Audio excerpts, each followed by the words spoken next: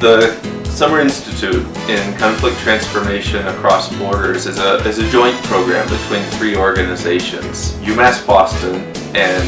FLACSO, which is the Latin American Social Science Faculty, uh, a graduate social science university here in Ecuador, and CEMPROC, the Center for Mediation, Peace and Resolution of Conflict. We have the specific theme of border regions, so looking at the complexities of border regions as both um, sites of conflict. Sometimes this is where differences collide and, and really create conflict and also as sites of opportunity and innovation. So this program has contributed to uh, my personal goals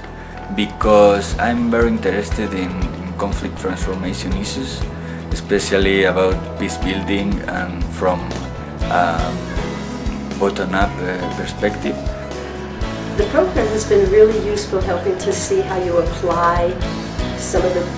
theories and learnings that we've had in classrooms and instead see it actually out in the field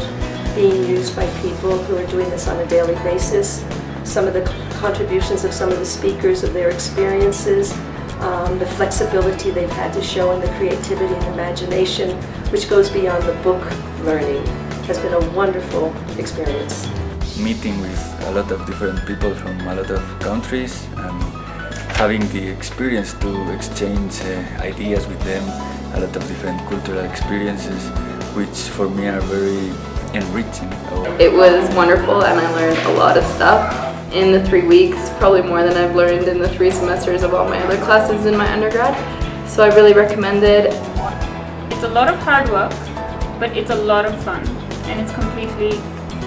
a unique experience when you come here. The best part of the program for me has been the ability to travel around Ecuador um, and get to see a bunch of new places and kind of learn outside of the classroom. We have uh, different uh, classes about refugees, or environmental conflicts and then we can visit places where, where this is going on and, and see with our own eyes what's happening. Since I'm from Colombia it was really good for me to be able to learn about it in an academic way as I feel like now I'm leaving with a lot more knowledge on the conflict that's going on back home than I did before which has inspired me actually to do my master's in conflict resolution.